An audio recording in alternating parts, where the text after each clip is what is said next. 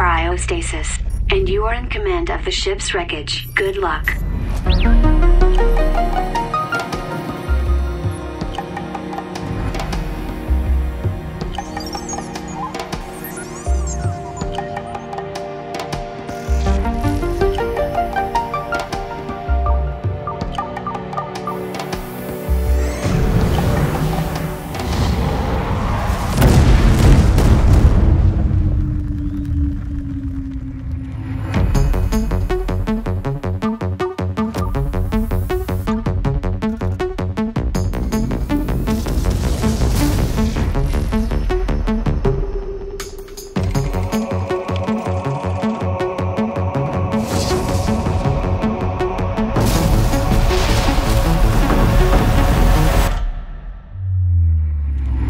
Future of the ship is in your hands.